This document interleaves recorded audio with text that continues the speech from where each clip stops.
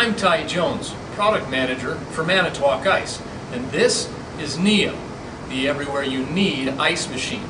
Neo means new, a new level of performance, intelligence, and convenience.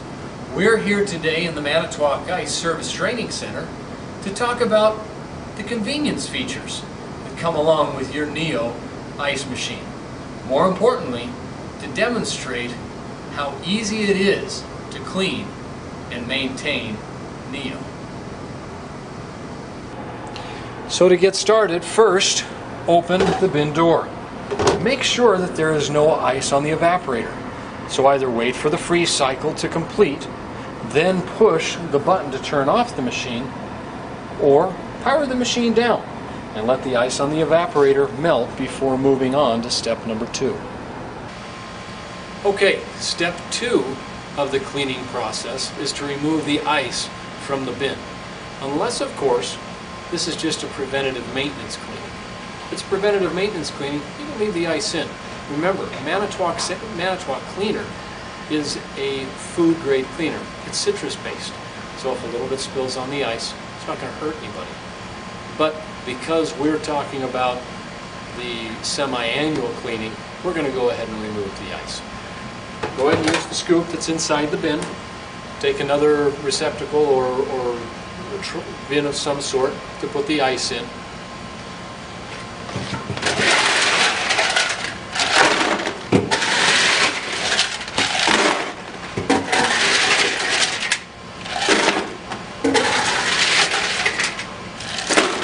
And remove all of the ice.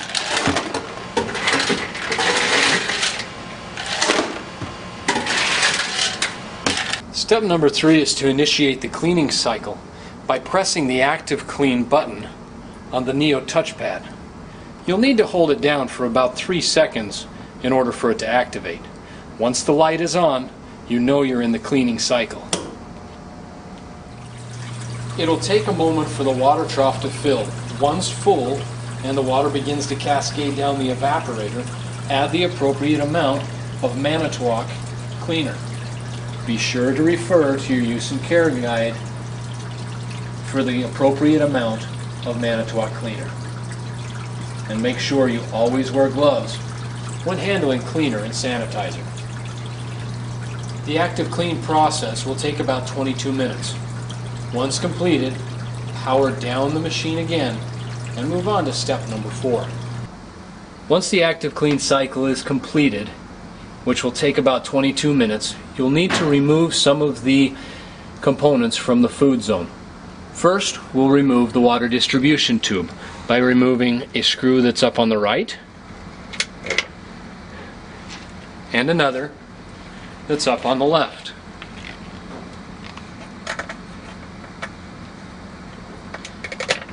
These thumb screws remove without the use of tools.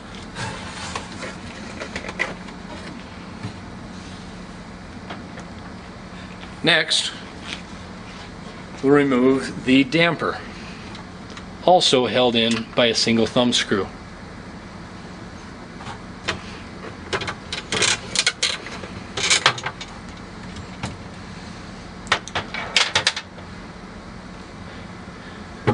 Then the trough. One thumb screw on the bottom. And another thumb screw on the right hand side, right behind the floats. Go ahead and remove the floats so they're not in your way.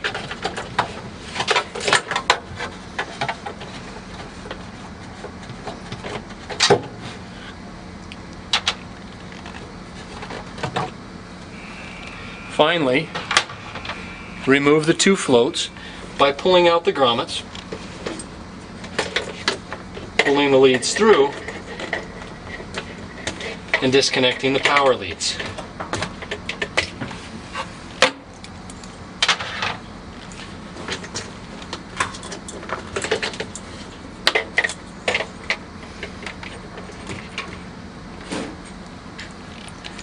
Now we can take these parts over to a wash bin for cleaning. Now it's time to clean the food zone components. I've already mixed cleaner with water It's a one gallon of water to 16 ounces of cleaner ratio. All I do is take the components, drop them down inside the water, and just let them soak.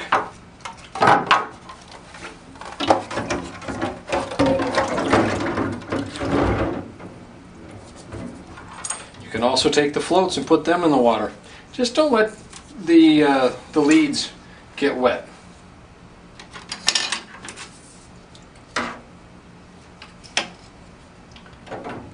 I'm going to let those sit there and soak for a little while.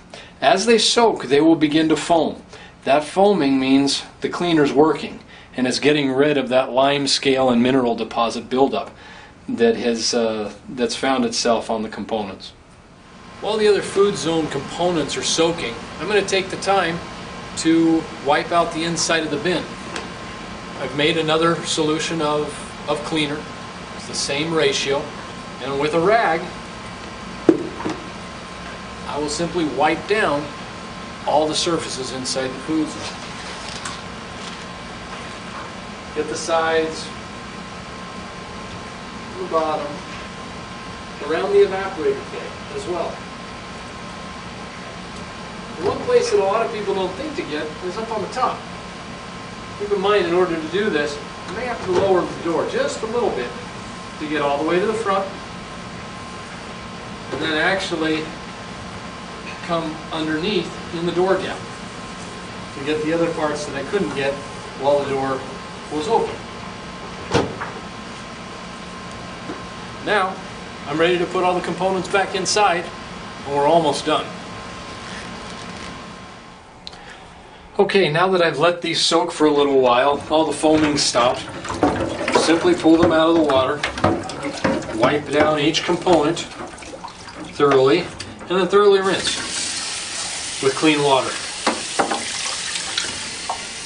I'll do that to each one of these and then return them to the ice machine.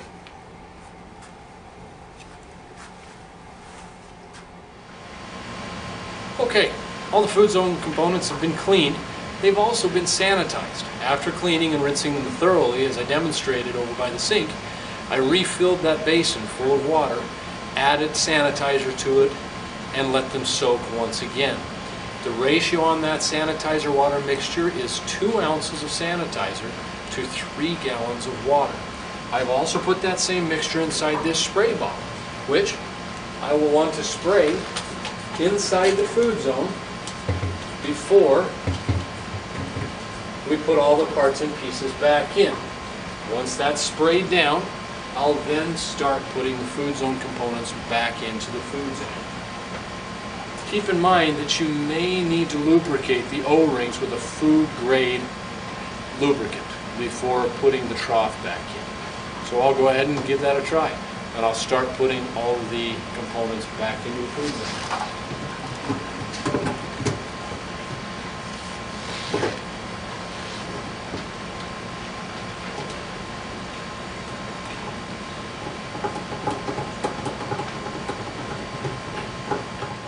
Okay, great. We're almost done.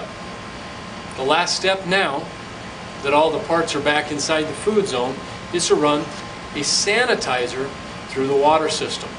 It's really pretty simple because we've already done it once when we clean the water system. The process is really the same. I push the active clean button. Once the water begins to flow over the evaporator, I put the appropriate amount of Manitowoc sanitizer into the water trough. That amount can be found in your use and care manual.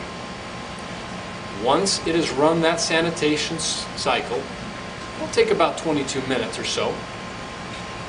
You're ready to start making ice again.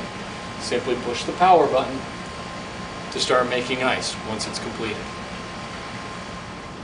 So that's it. It's pretty simple.